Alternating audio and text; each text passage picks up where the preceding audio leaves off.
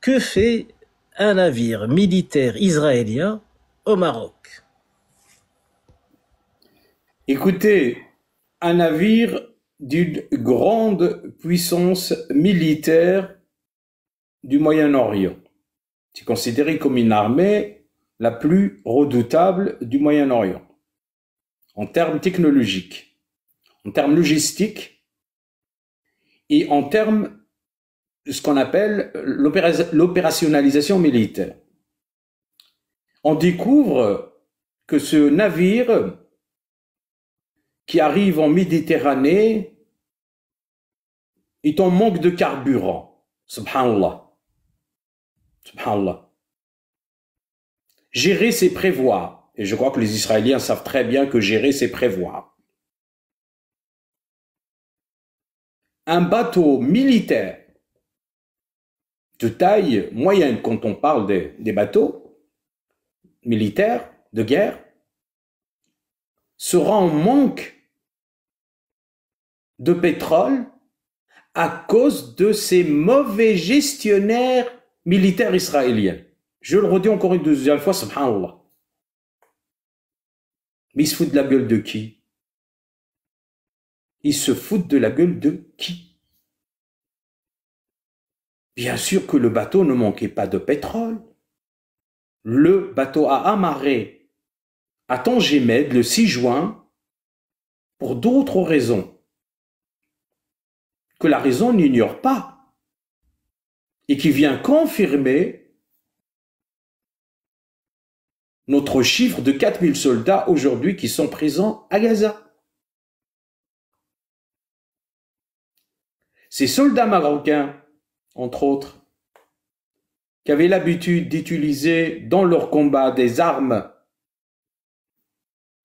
je ne vais pas dire marocains, mais qui sont utilisés par l'armée marocaine. N'utilisent pas les mêmes armes que l'israélien. Donc, pour utiliser une nouvelle arme, il te faut un entraînement, il faut un temps de latence, d'adaptation, etc. Je suis pas militaire, mais je me suis renseigné. Je suis dans une université. Il y a des géostratèges, il y a des géopoliticiens, etc., etc. Il suffit de prendre un petit téléphone et tu restes une demi-heure au téléphone, tu poses tes questions, on te répond. Parce que ça va dans les, deux sens. Quand eux ont besoin d'un truc, bah, la même chose. Ils m'interpellent, etc. Et donc, on a dû mettre des, quelques et c'est des témoins. Parce que vous savez, certes au Maroc, les murs ont des oreilles, mais les langues des gens qui travaillent au port se délient aussi. Parce que enough is enough. D'accord? Et en plus, chacun de ceux qui travaillent dans le port Med, bah, ils ont une famille à l'extérieur, etc. L'information part part. Surtout, on sait très bien, du côté de Tanger, il y a un mouvement anti-boycott, euh, un mouvement boycott, un mouvement contre la guerre, un mouvement euh, contre la normalisation, etc. On va pas revenir là-dessus. Les manifs sont là pour euh, les grands villes, bah, c'est Rabat, Casablanca et Tanger, bien sûr, dans tout le Maroc. Mais c'est là où il y a vraiment une grande dynamique, c'est dans ces trois grandes villes. Et donc, ce bateau est venu justement pour prendre des armes, pour prendre, euh, je veux dire, des munitions, des cartouches. Il y a encore des Palestiniens à tuer par les Marocains, et prendre autre chose, voilà. mais donc la blague qui a été euh, donc renvoyé par le desk ou par la presse locale, le pétrole. Pourquoi, pourquoi l'Espagne euh, euh, ni, ni, Gibraltar? Parce que Gibraltar était britannique. Euh, Israël a des très bonnes relations avec la Grande-Bretagne. Pourquoi ils n'ont pas euh, donc décidé d'amarrer à Gibraltar? Il y a moyen de les dépanner en pétrole. Pourquoi ils l'ont pas fait? Le premier ministre, britannique s'est rendu en Israël. Hein et aujourd'hui, la flotte britannique euh, est, euh, ou du moins des soldats britanniques sont présents en, dans, dans, dans, dans, dans la mer Méditerranéenne en face de Gaza. Est ce qu'il paraît, l'Espagne a refusé euh, de recevoir le bateau. mais elle n'a pas refusé ce bateau-là parce qu'il y a eu un précédent au mois de mai. c'était le fameux bateau, attendez, c'est euh, Marianne euh, Domica. Euh, Marianne Domica, c'est un bateau qui venait d'Inde et qui transportait des bombes, des munitions, des explosifs, etc. À c'était le 19 mai, à destination, euh, bien entendu, de euh, euh, de Gaza, enfin d'Israël, du port de Haïfa, de Haïfa. Et, donc automatiquement, ils ont eu la blague une fois le 19 mai, ils n'ont pas réitéré. euh, et surtout, on le sait très bien, maintenant, l'Espagne vient de reconnaître l'État palestinien avec l'Irlande euh, et d'autres pays.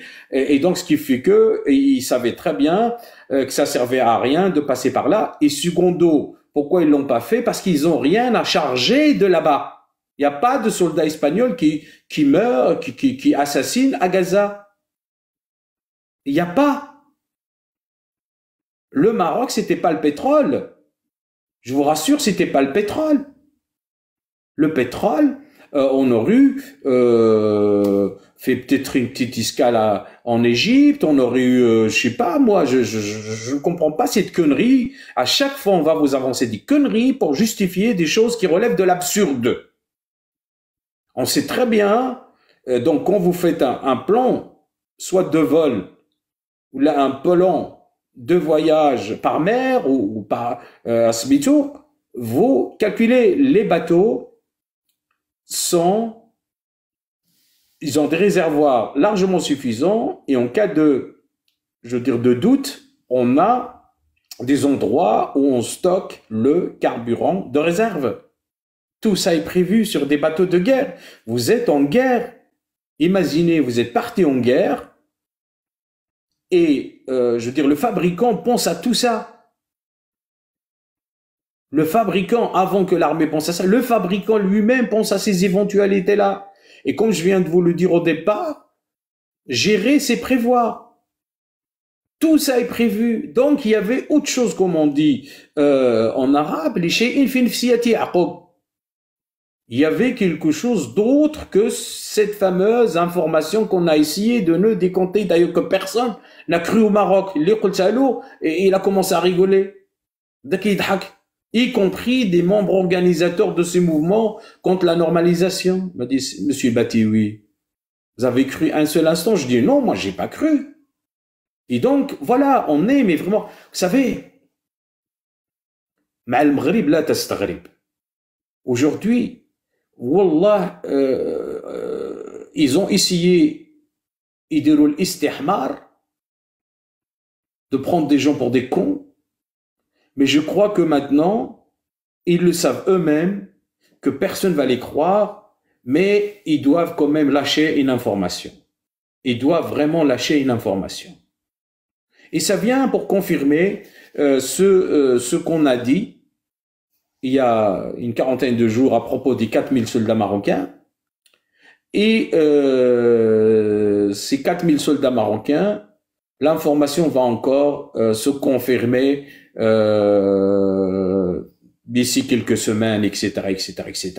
Donc euh, voilà, il y a un appel qui a été fait donc à des mercenaires. Apparemment, il y a énormément de volontaires au Maroc. C'est l'information aussi qu'on a de, de, plusieurs endroits différents. Il y a beaucoup de facteurs, je veux dire sociaux, sociétaux, qui font que les gens sont pour quitter ce pays-là, ils sont prêts à, faire n'importe quoi. Euh, et vous avez aussi un certain nombre de, de vidéos qui tournent sur YouTube. Ce sont des Marocains qu'on interpelle, ils disent oui, je suis prêt à aller euh, mourir, etc. Euh, euh, voilà.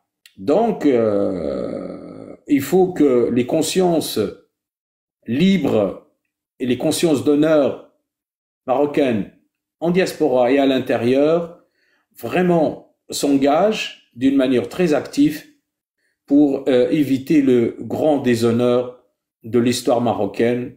Surtout, moi je parle de l'histoire du peuple marocain, qui été une histoire de combat, une histoire de justice, euh, une histoire euh, qui a été toujours euh, du côté de la justice, du côté de la liberté, du côté des combattants de la liberté, etc. Il faut pas qu'on qu'on y déroge à cause de ce mrzen, à cause de cette monarchie qui rentrée, mais vraiment dans un dans un tunnel de délinquance, Mais vraiment, ils sont en train de, de se choter, mais je ne sais pas à quoi. Euh, Est-ce qu'ils se chotent à la cocaïne ou à la Mais vraiment, c'est des, c'est un état voyou pour utiliser euh, le terme utilisé par les Américains. Mais je, je crois qu'aujourd'hui, le Maroc s'inscrit dans dans ces états voyous, the rogue state.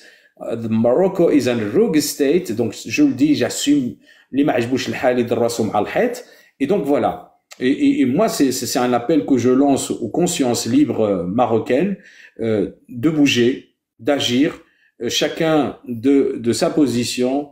Euh, si vous avez quelqu'un dans votre famille euh, qui a envie de prendre le chemin de Gaza, un appel que je lance aux officiers libres au sein de l'armée marocaine, si on vous fait cette proposition malsaine, désertez L'obéissance civile concerne aussi, la désobéissance civile concerne aussi l'armée.